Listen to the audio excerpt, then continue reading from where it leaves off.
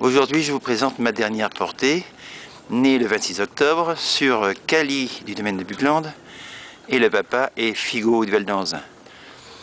Ils sont dans leur septième semaine, ils sont sevrés, et euh, bon appétit. Donc ils sont nourris avec des croquettes chiots. Donc il y a un mâle et euh, il y a cinq mâles et une fille. Ils seront tatoués et vaccinés la semaine prochaine, début de semaine prochaine. Et ils seront disponibles à partir de vendredi prochain, les premiers.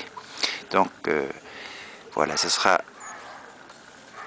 Il y a quand les chiots partent de la maison, il y a des réunions chiots tous les trois mois pour suivre la croissance et vous apporter des conseils sur l'éducation et pour que nous puissions préparer ensemble la confirmation du pédigré, c'est-à-dire que nous devrons présenter le chien dans une exposition du club de race si possible pour qu'il puisse avoir son pédigré définitif.